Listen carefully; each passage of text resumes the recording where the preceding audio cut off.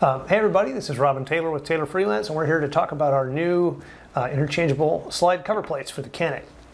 Canik SC. I'm going to start taking it apart just to show you how to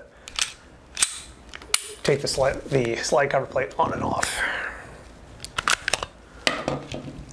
Okay, there's a tiny little tab right here at the top, um, and you need a little thin screwdriver of some sort to get in above the locking plate and don't, don't poke it so it, so it can't scratch.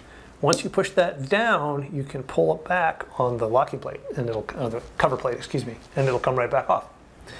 When you get one from us, what I want you to do, take, the, take your cover plate out,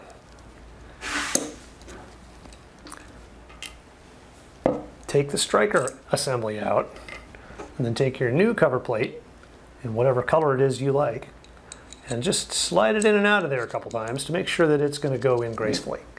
On the Cerakoted ones, sometimes the Cerakote can get a, get a little too thick and it won't want to go in all the way.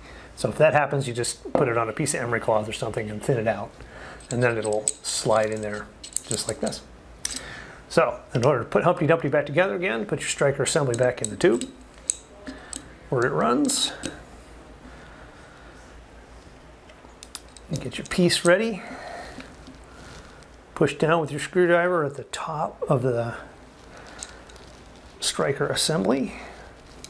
Once you got it lined up correctly, that is. There it goes.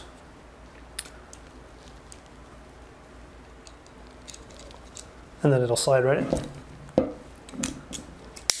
you'll hear that little click noise. That little click is important because this little circle in the back uh, helps determine the position of the striker in the gun. So once it snaps in there, everything's locked and you're good to go. Put Humpty Dumpty back together again. And we're in business.